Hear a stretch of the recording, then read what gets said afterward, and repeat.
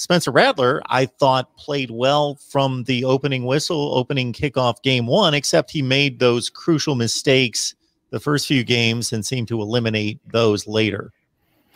He had an impossible task to overcome. He had all that hype, as I mentioned before. He was on top two, top three lists for the Heisman Trophy.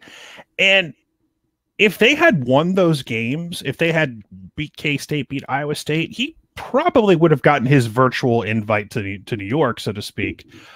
But uh, you know, his I think his come to his come to Jesus moment was the, the was the Texas game where he got benched early on, and you know they put Tanner Mordecai in there, and then all of a sudden, just like Lincoln Riley calms him down, puts him back in the game, and then the rest is history. He he is not only is he like going to be one of the best quarterbacks going into next year, he's probably the biggest name and most established guy, maybe next to uh, Clemson's quarterback, whose last name I can't pronounce to save my life at the moment. He's kind of like the one guy you you can think of. Um, I know Alabama's got Bryce Young, who's a, who's a highly coveted quarterback. I think he's going to do great things.